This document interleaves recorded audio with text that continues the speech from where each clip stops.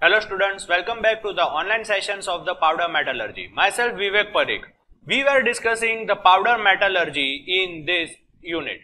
So, what we have discussed in the previous lecture we have seen the what do you mean by the powder metallurgy. We have also gone for the thing that is the different steps which are there in the powder metallurgy and out of that thing we have started our very first step that was known as an powder production method. How the powder production methods are there? They are divided into four main categories. That was the mechanical uh, that was mechanical physical and all that things we have done. So out of that thing we have discussed all the mechanical powder production methods. So whatever the remaining thing that is the chemical methods physical methods and the electrochemical methods that we will be discussing in our today's lecture. So let us begin this lecture with the thing that is the powder production steps and out of that powder production the second method which we will be starting that is known as a physical powder production method. So what is this physical powder production method? This method is the thing due to the physical changes that means we are changing almost the state of the matter we are changing and out of that thing the very first method we will be seeing that is known as a condensation method.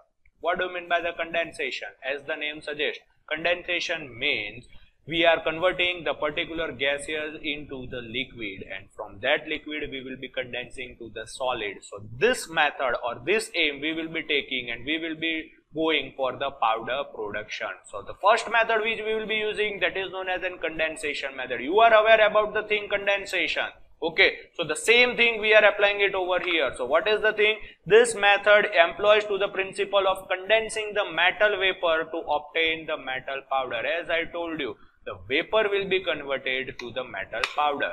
Now it is what this method is suitable for the volatile metal which are transformed into vapor easily. That means metals are very difficult to get converted into vapor. So this method is not employed to each and every metal. It is only done on the certain metals. Why? Because each and every metal's boiling point is so much higher. So it is not an economical thing. And we require such type of the furnaces to convert it into that particular part. So it can be employed whose boiling point is less. For that material only we can use this condensation method. It is carried out in the controlled atmosphere to avoid the formation of the oxides. So that what we are doing, we are going for the condensed, that means the controlled atmosphere we will be going. Why? Because if there is not a controlled atmosphere, what will happen? Your metal will react with the oxygen of the atmosphere and as a result of which what will happen? The oxides will be formed. So to avoid that oxides, we will be going for the controlled environment.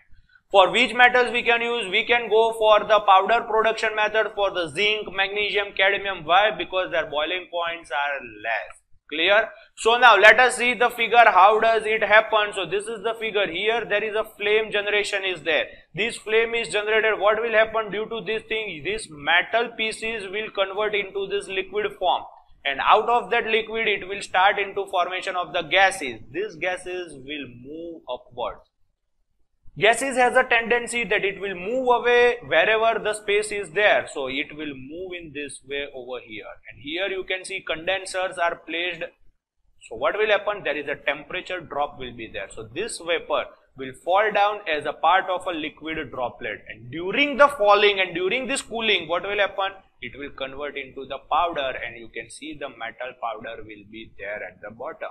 So this is how you can create powder from the metal with the help of the condensation method. Clear? So, very first method of the physical powder production method. Now comes the second one that is the thermal decomposition. Its second name that is carbonyl process. The second one. Now, what do you mean by the carbonyl? You might be aware about the thing oxides, hydrides. That means the metal reacts with the oxygen, it will give you oxide. Metal reacting with the hydrogen gives you hydride, halide. The same way when metal reacts with carbon monoxide, the material which is formed that is known as a carbonyl method. So we will be using that technique in this method. Metal is reacted with carbon monoxide under the pressure to form the carbonyl method. Clear as I told you. Now, this carbonyl they are decomposed by heating the vapor at an atmospheric pressure. Then CO gas which is produced is again reused. So let us see. This is the equation. Fe solid. It is a bulk. We are reacting it with a F5CO that is carbon monoxide. So what will happen? We will get a carbonyl. Carbonyl has a tendency, they are brittle in nature. So when you get iron carbonyl, hit the material with the hammer and all, what will happen? It will disintegrate. It will disintegrate and a small powder particles will be get. After that, which particles you are getting? The particles which we are getting, they are of the iron carbonyl. So we have to remove the carbon dioxide. So what you will be doing? Go for the heating at a high temperature. What will happen? Your carbon monoxide will go away and we get the iron. This is a bulk iron this is a powder iron we are getting and this carbon monoxide is once again reused for the next batch. So this is how thermal decomposition method works. Which are the thing metal? Majorly iron and nickel, they are the metals which can be powder can be produced with the help of this carbonyl processes. Clear? The carbonyls are volatile in nature and it, the temperature range which takes place that is between 150 to 400 degrees Celsius and 1 atmospheric pressure. That means we can achieve this method very easily as compared with the condensation method. So, this was our second method of the physical powder production that was the thermal decomposition method and there are only two methods which are there for the physical powder production method. Now, we will be going with our third category of powder production that is known as a chemical powder production method. And in that, let us start our very first thing that is the reduction method. You will be aware about the term reduction. What do you mean by the term reduction? Reduction is nothing but removal of the oxygen or adding of the hydrogen that process is known as a reduction method. So if you are adding hydrogen what will happen? By addition of the hydrogen you will get the hydride. Hydrides has always a tendency of a brittle in nature. So we will heat the material disintegrate the material and we will get the thing that is the powder of the material so this method is based on the principle of breaking oxides or halides of metal into metal powder by using suitable reducing agent. Now, the reducing agent can be solid or a gas as carbon, hydrogen, ammonia and carbon monoxide. So, powder of iron, copper, nickel, they can be obtained with this reduction method. So, you can see over here, copper we are taking copper has been reacted with a carbon monoxide or you can say coke. And after that what we will be seeing by the introduction of the hydrogen you can see this particular thing. See this is the thing. CuO copper oxide metal is there. Then with the help of the hydrogen it will reduce. Here that is a pure copper. So you can see copper plus H2O gas. This gas will goes away from here and whatever the thing which is left that is your pure copper take this copper heat the material and you can go for the particular powder from this material. Clear? So that was the reduction method.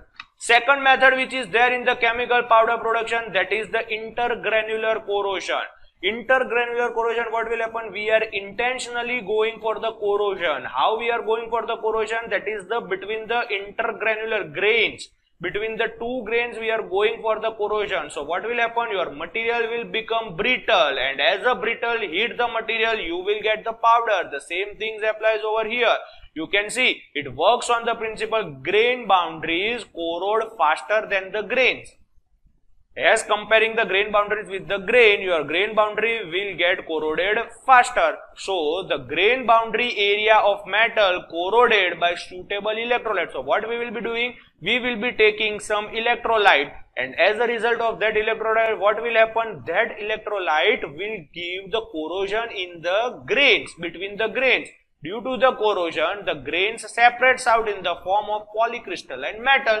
Due to that, what will happen? The grains goes away and there is a gap between the two grains. Stainless steel powders are produced by this method. So, due to that thing, what doing? By the corrosion we are taking away the grains uh, the, we are taking the between grain boundaries and due to that there is a space which is there. So the material will become a brittle and by heating it you what you will get? We will get a metal powder from this thing. You can see over here we are doing this thing. So cracks will be formed. Why? This thing happens these are the different grains which we have corroded. So what has happened? The material is having a cracks. Due to that crack it is easy to get breakdown so with the help of this method, we can go for the powder production. Major stainless steel materials powder, they are manufactured with the help of this method. Clear? Now going for the third method, last third last that means the last method of this chemical powder production that is the precipitation method. This method is based on the principle that a less noble metal displaces the more noble metal in an aqueous solution. Now, you will be knowing about the precipitate that the material will get bulk with each other and the precipitates are formed. And that precipitates by using that precipitate we will be going for the powder production. The more noble metal the separates out in the form of precipitate. That means whatever the material we are having which will be here as a more noble metal that will get the precipitates and it will settle down at the bottom. So ag sn cu these are the metals which we can use this thing and the precipitate whatever we are getting they are always brittle in nature. Take that precipitate heat the material you will get the powder from that particular thing. So this was your precipitation. In all the three things, intergranular corrosion, what we did? We did a chemical reaction. In this precipitation, what we are doing? Less noble and more noble metal are separated out with the help of the electrolyte and all. And due to that chemical thing we have done, what we have done? We are going for that thing. And the third method which we have done, that is the reduction. It is also one of the chemical reactions which is taking place. That means there are three methods in the chemical powder production method okay? And the last method that is the electrochemical powder production method. How does it happen?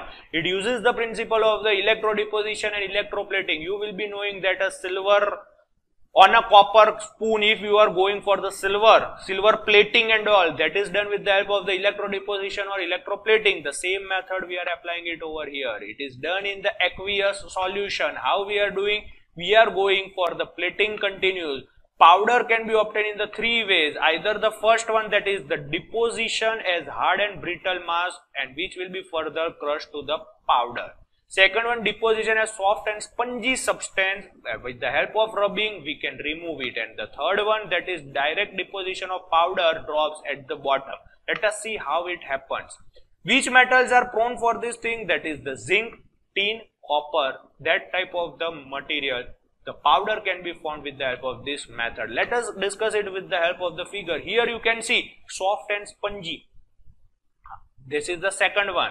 First one hard and brittle metal which is there on the material and the third one that is obtained at the bottom which are not able to get on this particular surface and this is your anode and this will be your cathode. So what you are seeing, you are seeing that anode was used and the cathode that is the zinc material is based on this material. And by rubbing this thing what you will get? You will get the powder. And whether you are not getting the powder it is a brittle in nature. So by removing this metal what you will get? You will get this particular metal as a soft and the brittle material. Hit the material get the powder and the powder will be with you. Clear? So this was your electrochemical method. And as a result, what we have done? We have done or we have discussed all the powder production method. They are physical, chemical and electrochemical in this lecture and we have already discussed the mechanical one that is in our previous lecture. Clear? So now let us discuss it with the help of the second going. This is the basic setup anode cathode. This anode will be depositing on the cathode and will deposit in this way on this particular material. In this way we can find out this thing. So, we will be going that which are the different types of the particle shape we are getting. Which type of the shape? Spherical, rounded, cylindrical, spongy, aggregated, cubic, flaky, acicular. How it look like? They are in this way, three-dimensional view you can see. This is how you can get the different types of the particles which are getting from the particular powder production method. Clear? And now we will be starting with our second step of powder metallurgy that is known as an powder conditioning method. As we I have discussed in the last lecture, what is this powder conditioning? That is nothing but mixing of the different types of the thing. Why? Let us see. Powder conditioning that is of the two types either mixing or blending. These two things we can do. What is blending? Process of mixing powder of same chemical composition but different size. Same chemical but having a different size whereas mixing means process of combining two different powder chemistry if we are taking the two different things that means alloy if we are using we will be going for mixing if it is a pure metal we will be going for the blending part clear basic difference between mixing and blending. Mixing take two different metals, blending the same metal but different sizes. Three things we are adding. Why we are doing this thing?